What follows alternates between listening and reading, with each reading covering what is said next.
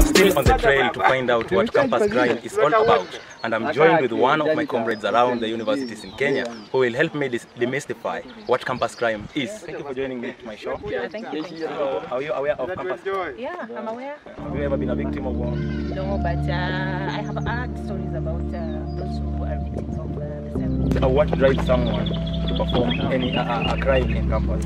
I think in campus majorly it's because people want to meet standards that uh, they, they, they want to be in some other people's lives.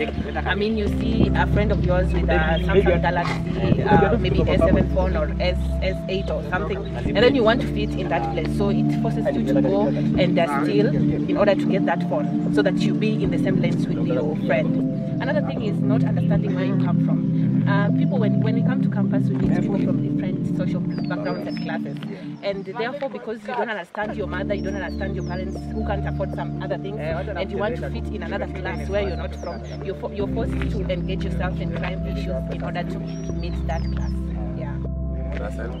Do you understand what campus crime is? Have you been a, a victim of uh, campus crime? No, but I know a friend who has been. What drives someone to perform a crime in campus?